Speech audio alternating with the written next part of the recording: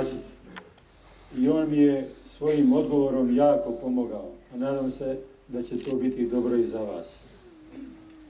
Rekao je naime, govorio o Svetom Frani, jer on mu ovaj naš puk voli slušati puno. Jer se u Svetog Franju ulazi u školu kako živjeti jednu dublju dimenziju života.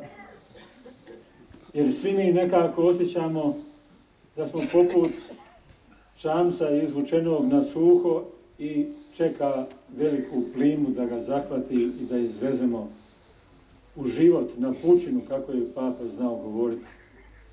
Da počnemo živjeti punim, radosnim životom, kako zaslužuje svako Božije stvorenje i kako zaslužuje i kršćanin ovdje u Lašvanskoj dolini.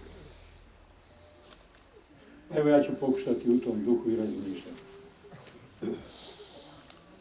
Jedan židovski teolog kaže da se čovjekova krivnja ne sastoji u tom što on griješi, jer samim tim što je čovjek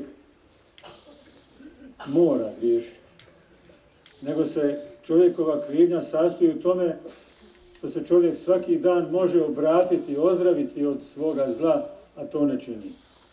Evo, braće i sestre, nalazimo se na mjestu koji nas hrabri da uđemo u taj proces ozdravljenja, priznavanja svoje grešnosti, ali istovremeno priznanje da postoji netko ko nas unaprijed voli i ljubi.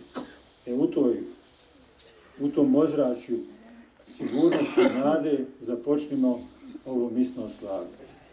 Ispovjedam se.